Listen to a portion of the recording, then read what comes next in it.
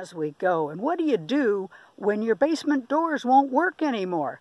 Well, Chris is going to show us how to fix that. Stay tuned.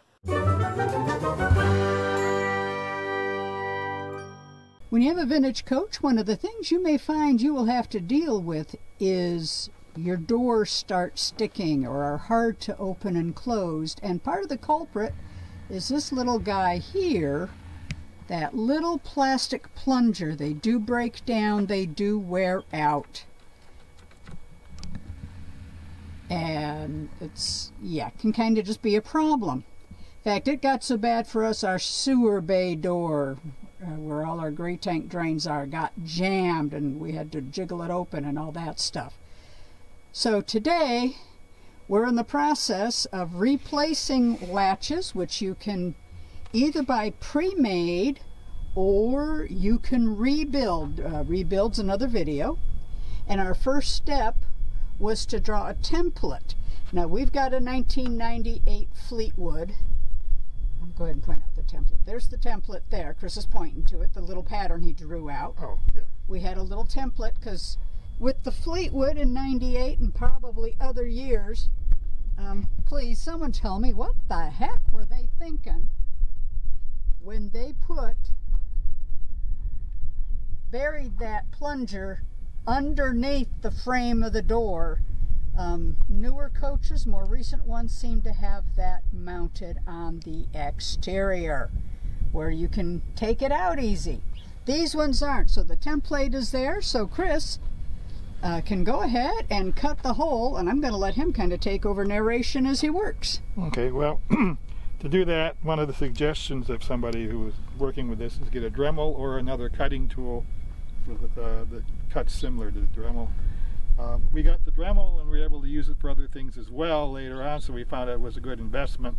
So one of the main, main ones we've been using is the uh, cutting disc and uh, it comes in very handy for cutting these out. These are plastic backs. This is metal here, but we want to get around it so we can get into where there's locking nuts behind these, so we want to be able to get those out and then pull the, the old latch plunger uh, assembly out and then this comes off. We'll show you that in a little bit later, but first of all we're going to cut these out and then uh, go through the steps we have to do to get it ready. If you're using a Dremel, I found number six. If it's a, if it's a 10 speed Dremel, seems to work well. One thing you have to remember when you have a Dremel is you always, you should go, when, you, when you're cutting, go from the opposite direction of the way the wheel wants to push you uh, because otherwise you'll be having uh, jerks and stuff and you don't want that to happen. So anyway.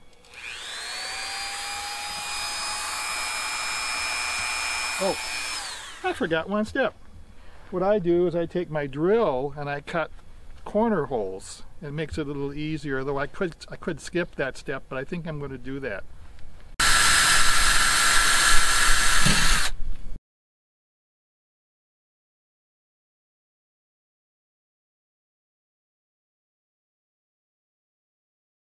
So as Chris is cutting, um, it provides a stop point so you don't overcut.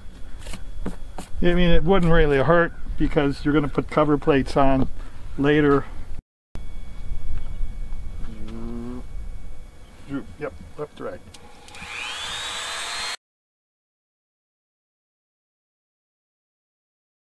Oh, one thing I might add is you won't see it yet, but when you're cutting inside, the latch assembly is about that wide. It's just below here so you might want to be careful when you're cutting. You can go a little deeper when you get to there.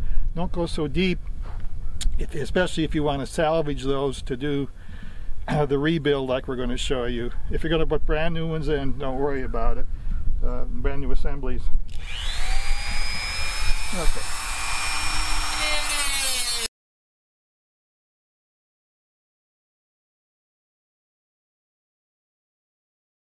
You can go deeper back here because that piece that sticks out is only up in this area. So I'll just show you.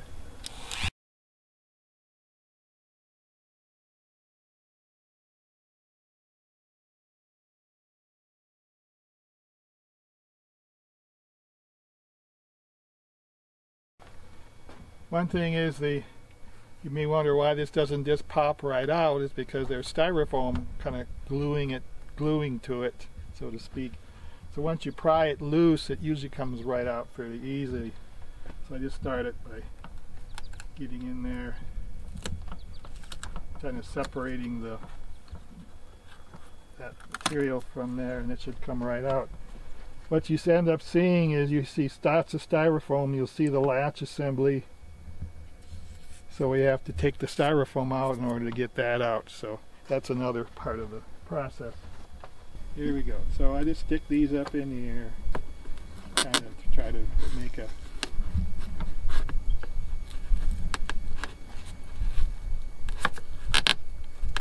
and then I do this side.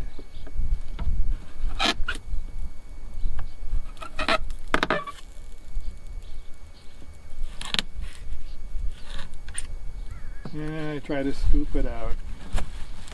A lot of times it will come out easy and sometimes it won't. As easy as you'd like it to.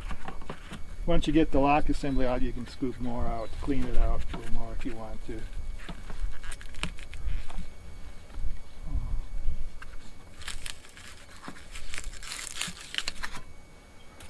There.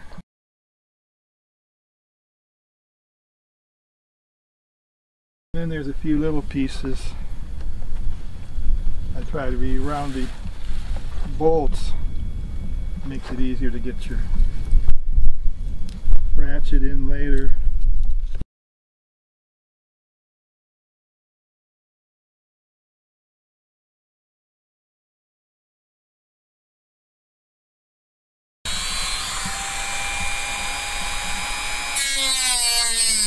Needed tools what I use is the the person that gave the instructions on how they did it.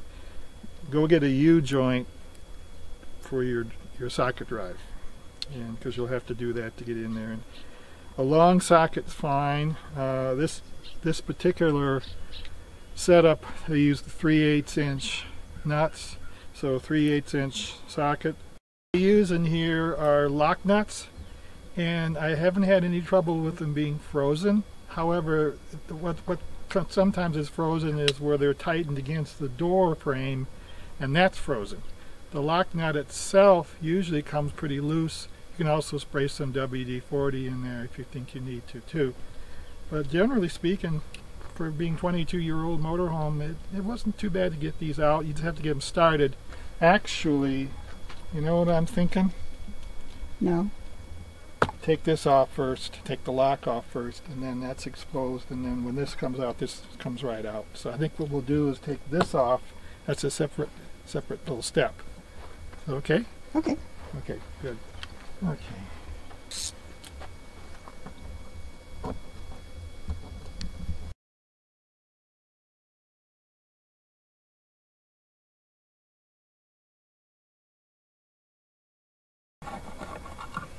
I'm anxious to get these replaced with different screws because this was the loose one that was potentially loose.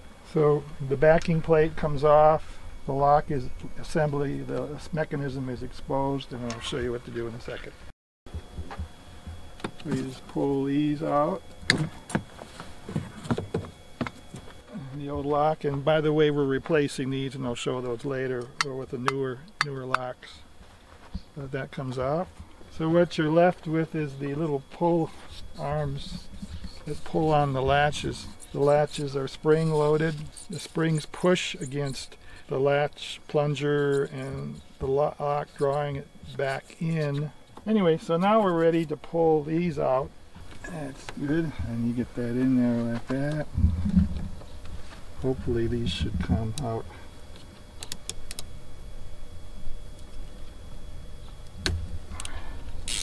Once you get it started, it'll come pretty good.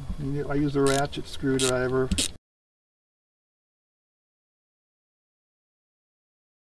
Okay, you can use these little rods to help you pull these back. You can just pull this out. This whole latch assembly is loose now.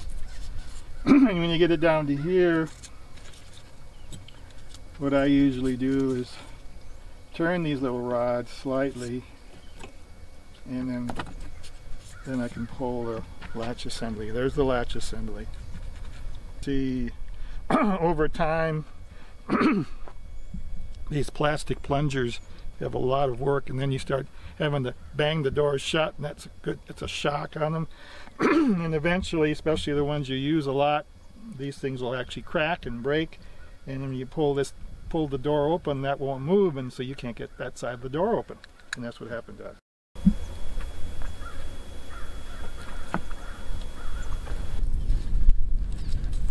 Checking to make sure any loose crumbs of styrofoam are out of there. Out of the way, yeah, especially when you put these back in. Cleaning up. Yeah. So, in another video, we demonstrated how to rebuild these. This is our nice new rebuilt one. Uh, we Yeah. will have that link available Great. for you. Okay, so I'll go ahead and put this one in. So what you do is you have to, well, first of all, I've noticed when I ordered the assemblies that there's they come this part comes straight out, and I put a, a slight, very slight bend in using um, uh, channel locks, and I noticed the other ones were done that way. It seems to make the hook action a little tighter. I mean, not tighter, but a little easier More secure. more secure. When they come from, when you order them, they won't have that bending in it. It probably works okay, but I think, well, you know, I think I'll do that. Oh. Doesn't have to be a very big bend in it, but I put it, put first little bend I put right about there. Go make it just slightly tighter. I used them for something else, so I lost my adjustment. There, so I go just a little bend. And then I go back a little bit and I do the same thing.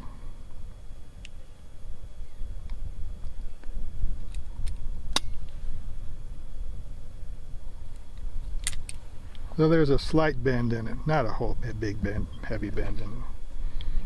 I mean, it could be a little more if you Put your wanted. finger- Oh. Hold your hand behind. Yeah, just like that. Okay. So that's the little bend he's talking about. It's barely perceptible, but instead Yeah. of being super straight, you can see that little bit of a curve, and that makes everything Hmm. kind of hook up just a little bit more secure. Yeah, a lot of the ones I pulled out had that in it, so I think, yeah, maybe I'll add that to it. So you just hook that back on, turn it around. You can pull back a little bit, and then it should.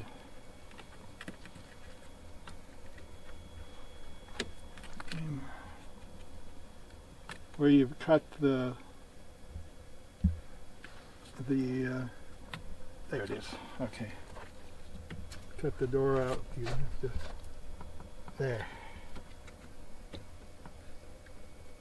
Should be should be in now. You can see the latch coming out of the frame there. And then you can you pull back. That should pull back nice and easy, which it is. Okay, that one's at least on for starters. There we go. Now I can use a screwdriver and tighten them up.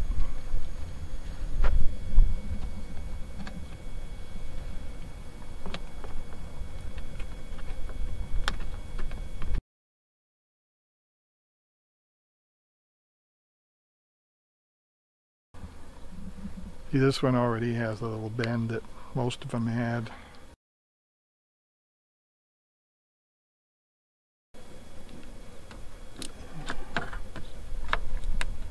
Just be, make sure they're nice and snug.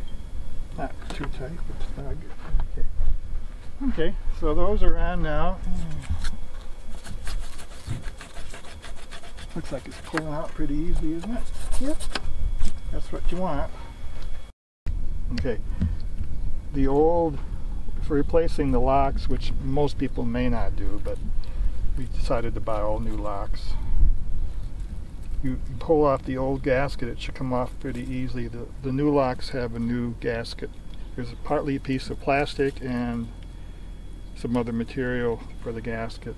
So that should be pretty much all you have to do there.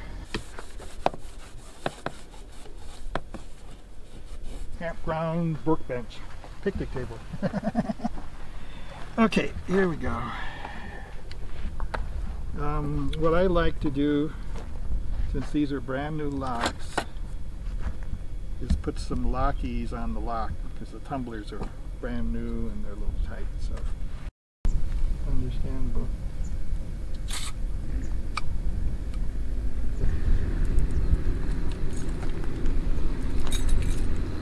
So we want to make sure the locks are nice and loose.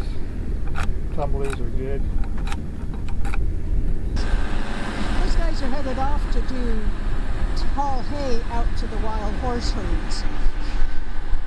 So get a little competition for sound.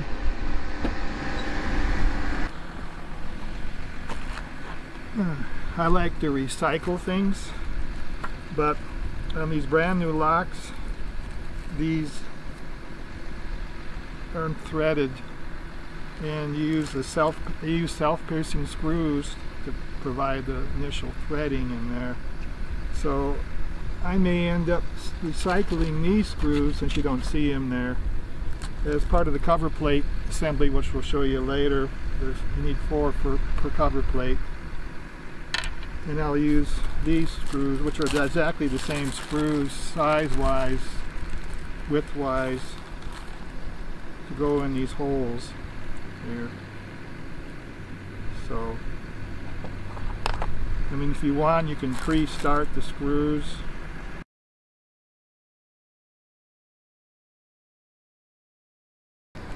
So here's the brand new lock. There's a brand new gasket for it that comes with. Here we go. We're going to put this on. And I'll try and remember to get those links for where we found stuff in right the description below. Mm-hmm. So it should be pretty much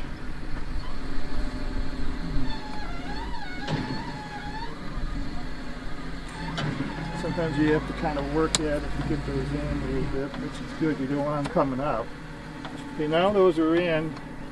Now you can see how this this works. You open the you open the latch.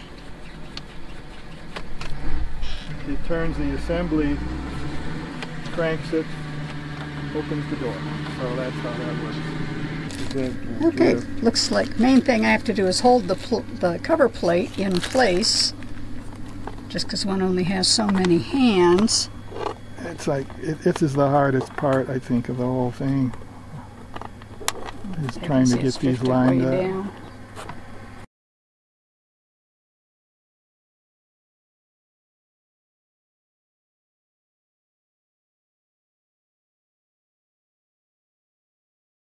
Now, Sometimes uh, Chris uses a hole punch to help him line up some of those holes. They can be a little oh, clunky sometimes.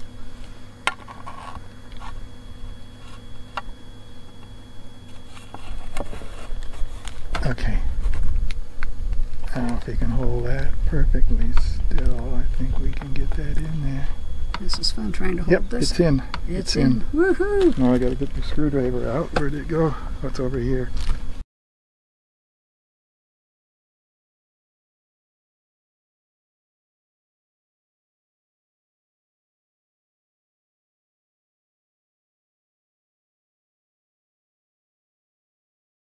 By the way, those screws are pretty common. Ace Hardware, here the local lumber yard had them. You know, they're pretty easy to find. Yeah, you can use the old screws too if you want. Just that I kind of like, especially since they're Phillips head, having a fresh start. And then the, the cover plates, you can use the old screws because there's not as much pressure on them.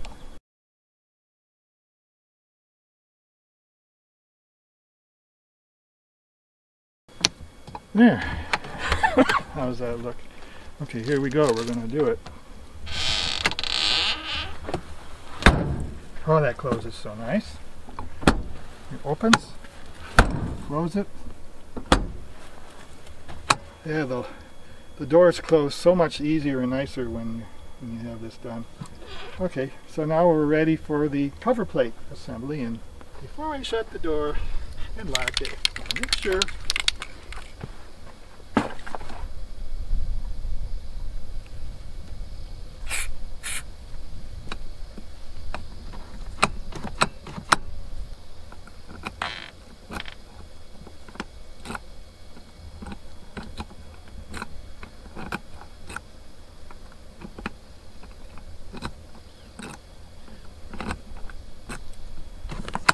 So the cover plates we use are made out of FRP. And I forget what that all stands for. Um, it's also called dairy board. When we bought our initial rebuild kits from Improved RV Products, is that his name? Improved RV Parts, I forget. Yeah, yeah. I'm sorry. Anyway, well, well I'll confirm the name, give you a link. You can see he's drilling some pilot holes, so to speak, just so it makes it easier to attach those and cover up that latch mechanism. Yeah, I'm finding it easier with FRP to have the holes in the cover plates already drilled. Think like switch plate. Those all come with their holes already in them, right? Right. Okay, so now I'm going to drill. I'm finding it also easier to drill pilot holes into the back of the door, tiny pilot holes, because they're styrofoam and it's plastic, so you don't want to get them too big because they won't, the screw won't bite well. These for one of the cover plates and recycle them so it's a softer use for secondary use. Secondarily used ones, it's almost exactly the same screw anyway. So those four screws are the ones that were holding on what covered the back of the lock? And we're just going to pull those over and use them on a cover plate. Right. Why not? Why not? I don't like to waste. Yes, reduce, reuse, but recycle. I also like don't like having Phillips heads that are getting oh, beat up. Okay, well we'll put this one on first since we're right here. Once you get the uh, once you get the first hole drilled in there, it's pretty it's pretty simple.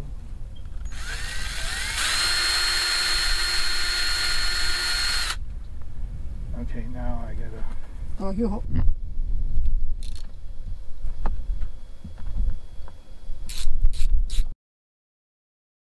These holes are very easily stripped, so. Oh, I remember what I was doing. I forgot on that. I just kind of puncture the plastic, but don't go all the way into the styrofoam. But, oh well.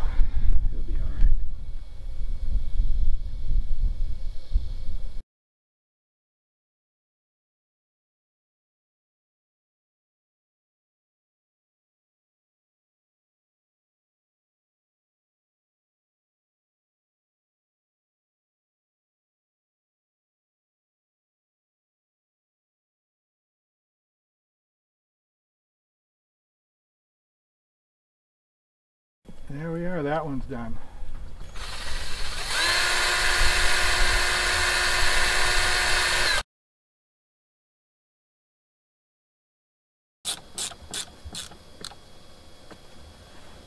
There we go.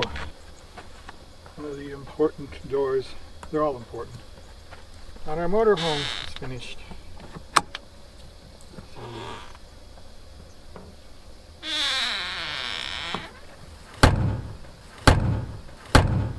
Oh, close. So nice. It's all set. So, so we hope you found that helpful. Do check out these other videos. Make sure you like, subscribe, share, and who knows, someday as we go, maybe we'll see you on the road. Safe travels to you.